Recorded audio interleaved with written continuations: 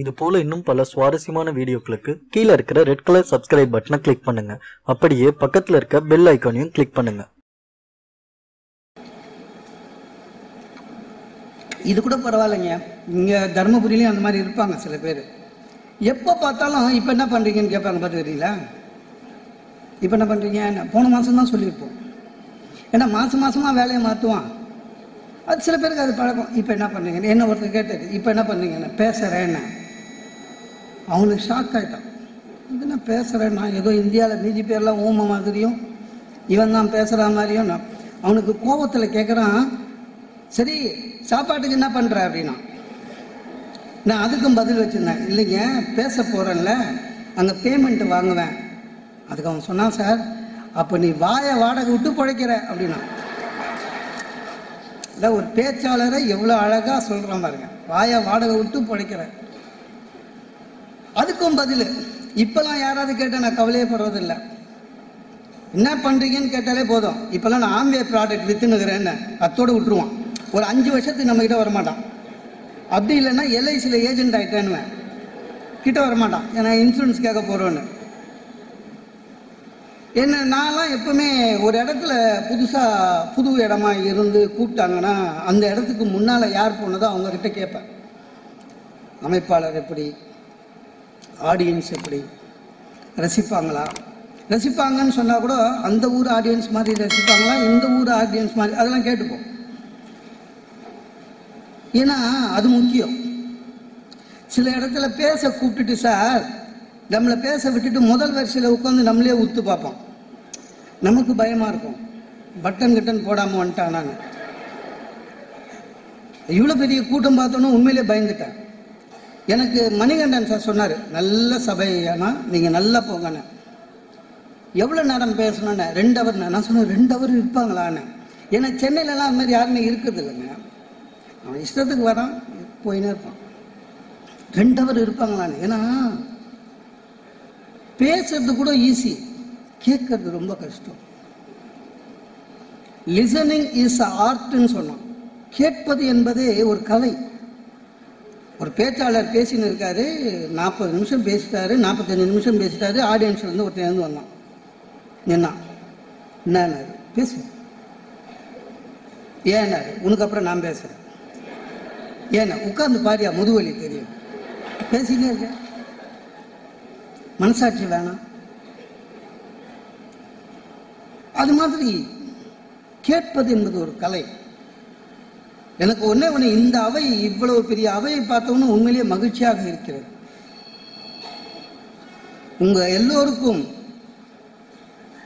ஆன்மீகத்தில் ஆனந்தம் காண்கிறீர்களோ இல்லையோ ஒரு நல்ல பேச்சுக்களை கேட்பதற்கு இவ்வளவு பேர் வருகிறீர்களே அதற்கே உங்களுக்கு என்னுடைய மனமார்ந்த நன்றியை தெரிவித்துக் கொள்கிறேன்.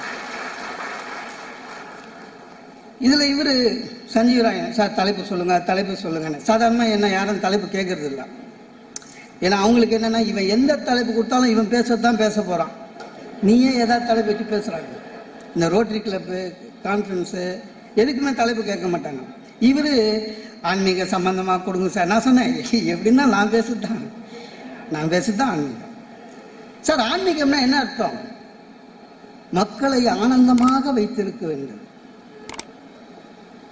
நிறைய பேருக்கு இந்த நம்ம நம்ம ஊர்ல நிறைய பேர் மகிழ்ச்சியா இருக்காங்களான்னு தெரியல. கேட்டாலும் சொல்ல மாட்டான் எப்படி இருக்கீங்க சார்னு கேளு. நல்லா இருக்கேன்னு மகிழ்ச்சியா சொல்றவங்க ரொம்ப பேர் இல்லை.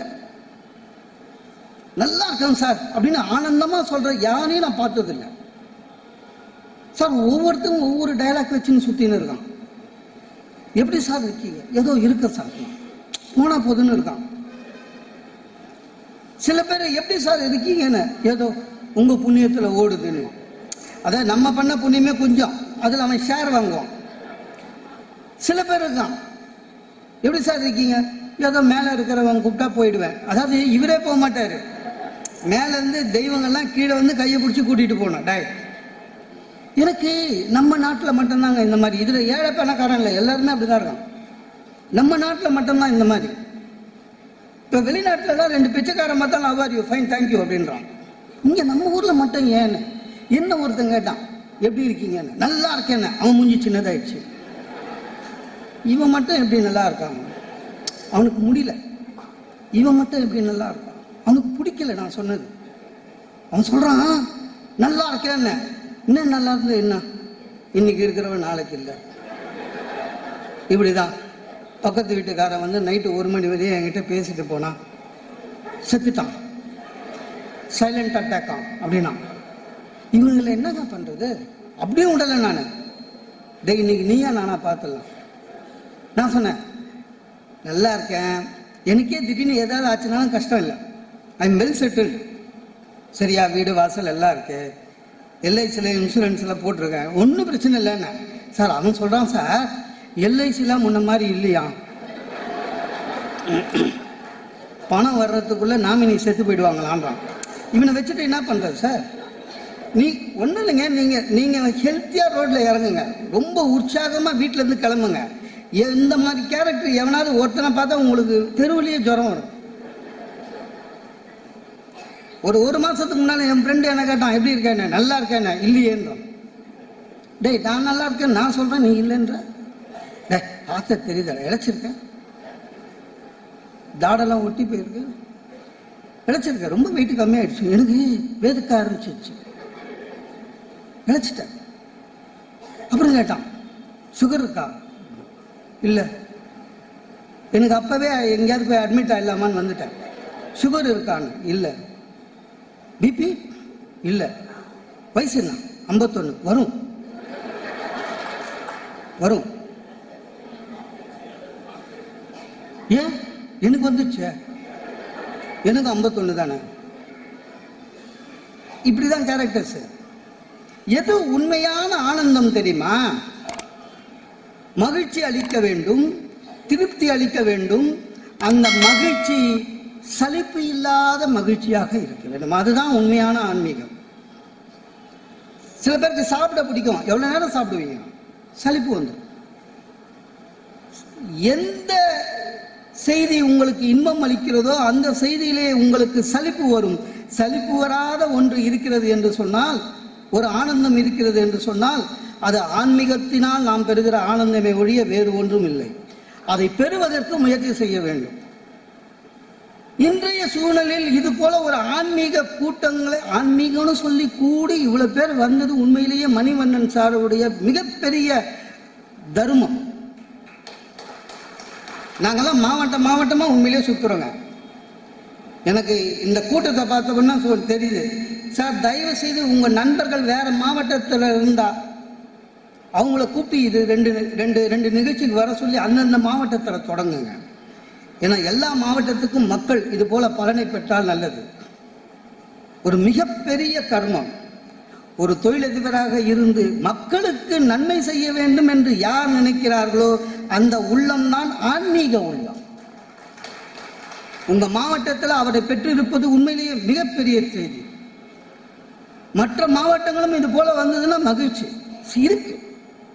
மற்ற மாவட்டங்களில் இருக்கு. கம்மன் விழா கம்மன் கழகம் பாரதி கழகம் இருக்கு. வருஷத்துக்கு ஒரு வாட்டி கூடுறாங்க மாசம்லாம் இல்லை. இருக்கு. எனக்கு இன்னொரு வேண்டுகோளை ஐயா கிட்ட வைக்கிறேன். ஒன்றும் இல்லை. இந்த சஞ்சீவராயன் மாதிரி பேராசிரியர்கள் இளைய தலைமுறையை வைத்துக்கொண்டு இதே கூட்டத்துக்கு தயவுசெய்து இளைஞர்களை வர வேண்டும் ஏன்னா ஆன்மீக கூட்டம் இலக்கிய கூட்டம் எங்க போனாலும் எல்லாம் நாற்பது பிளஸ் தான். நாற்பது பிளஸ் அறுபது பிளஸ் வீட்டில் சண்டை போட்டுட்டு ஒரு ரெண்டு ஹவர் போயிட்டு வரலான்னு வந்தவங்க ஆமாங்க உண்டு.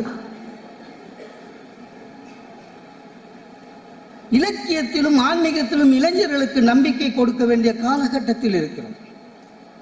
சார் ஒரு பையனை பார்த்து கேட்குறேன் ஏன்டா ராமாயணம் நடக்குதே? இப்போ பேசுறாங்களே கம்மன் விழாவில் போய் கேட்க தானே அடப்போ சார். அதே ராமர் அதே சீதா. அதே சீதா கல்யாணம். அடப்பாவி. அதுக்காக நான் சீதாக்கு வேற வேற மாப்பிள்ளைய பார்க்க முடியும்? பிடிக்கலன்றாங்க. அன்னைக்கு ஒரு பேச்சு நாயன்மார்களில் நால்வர்னு தலைப்பு. எல்லாரும் நினைச்சாங்க அப்ப ஞானசந்தர் அது சொல்லுவேன் நான் அப்படி இல்லை. வேற வேற நாயன்மாரை சொன்னேன் இறங்கினேன். நான் பேசும்பொழுது என்ன பண்ணேன் இயற்பகை நாயனாரை பத்தி சொன்னேன். சிவனடியார் வந்து மனைவியை என்னுடன் கொடு என்றவுடன் கொடுத்து விட்டார். என்ன பக்தி. அதனால்தான் அவர் பெயரை கூட சொல்லாமல் இயற்கைக்கு மாறாக செய்தார் என்ற அந்த நாயன